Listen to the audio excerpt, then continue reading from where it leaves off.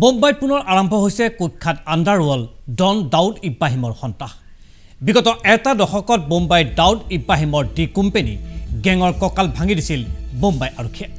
D company গেংষ্টাৰৰ ধাৰাবাহিক encounter তথা গ্ৰেপ্তাৰেৰে underworld সংগঠনটোক যথেষ্ট দুৰ্বল কৰি দিছিল বোম্বাই আৰক্ষীয়ে।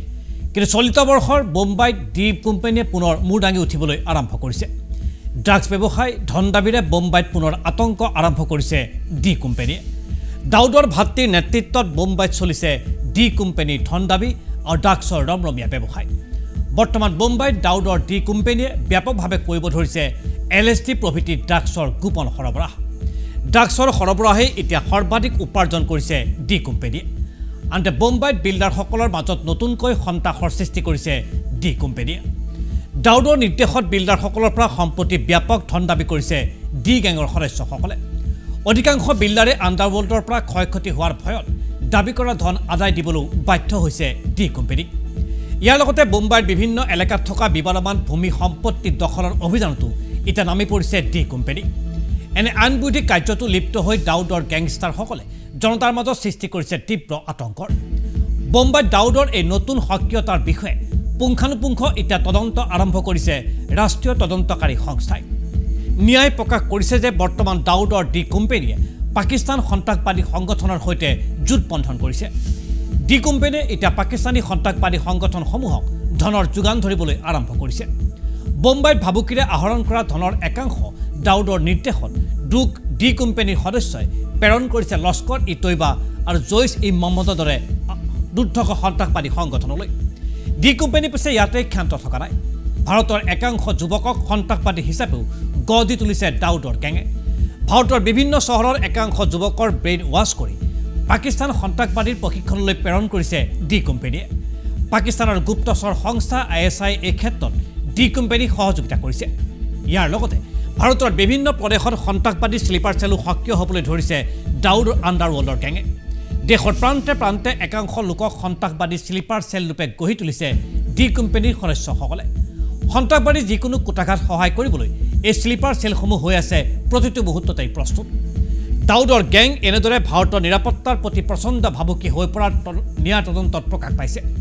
ইয়াৰ পাছতে এতিয়া ন্যায় দাউদ দাউদ ইব্ৰাহিমকে ধৰি প্ৰতিগৰাকী গেংষ্টাৰক গ্ৰেপ্তাৰৰ বাবে অভিযান তীব্ৰতৰ কৰি তুলিছে। দাউদ আৰু দাউদৰ ঘনিষ্ঠ সহযোগী চোতা চাকিলৰ নতুন আলোচিত মুকলি কৰি তেওঁলোকৰ কৰায়ত্বৰ বাবে পুৰস্কাৰ ঘোষণা কৰিছে নিয়া কৰ্তৃপক্ষই। সেই অনুযায়ী দাউদৰ সন্ধান দিওঁতা ব্যক্তিক পঁচিছ লাখ টকা প্ৰদান কৰা হ'ব। আনহাতে চোতা চাকিলৰ সন্ধান দিওঁতা ব্যক্তিক পুৰস্কৃত কৰা হ'ব বিছ লাখ টকাৰে।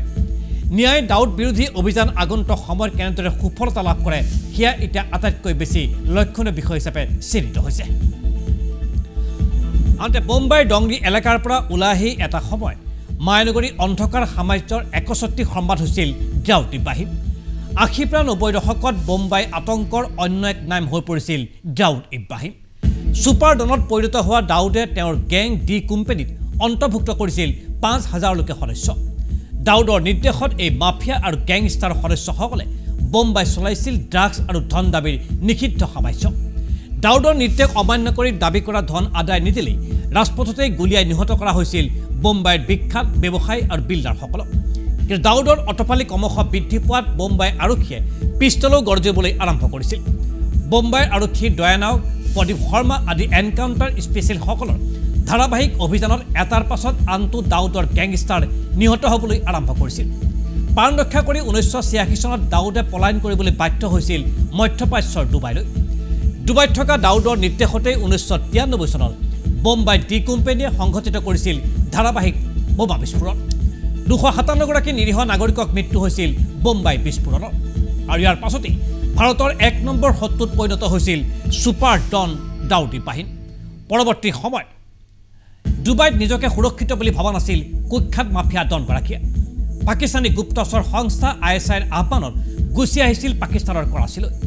বৰ্তমান পাকিস্তানৰ কৰাচীতে বাস কৰে দাউদ ইব্ৰাহিমে কৰাচীৰ পৰাই দাউদে নিয়ন্ত্ৰণ কৰি থাকে আণ্ডাৰ ৱৰ্ল্ডক বিভিন্ন সূত্ৰত প্ৰকাশ পাইছে যে দাউদ বৰ্তমান সম্পূৰ্ণৰূপে অসুস্থ।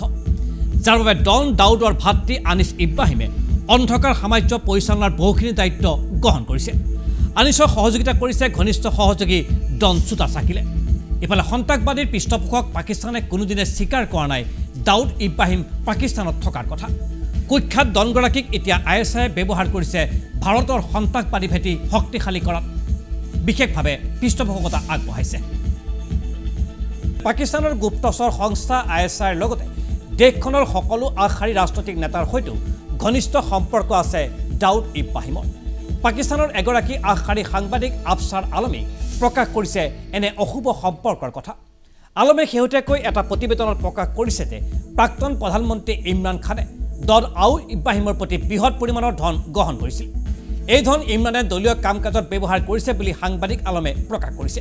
এই তথ্যৰ পৰা পুনৰ প্ৰমাণ হৈছে যে ভাৰতৰ শত্ৰুতা কৰাটো পাকিস্তানৰ ৰাষ্ট্ৰনীতি ভাৰতৰ পলাতক অপৰাধীক আশ্ৰয় দিয়াৰ লগতে তেনে অপৰাধীৰ পৰা ধন ল'বলৈ কুণ্ঠাবোধ নকৰে পাকিস্তানৰ ৰাজনীতিসকলে আন এক কথাত পাকিস্তানৰ ৰাজনীতিসকলে এনেদৰে বৃহৎ অংকৰ ধনেৰে মেনেজ কৰিও দেশখনত আশ্ৰয় লৈ আছে দাউদ ইব্ৰাহিম।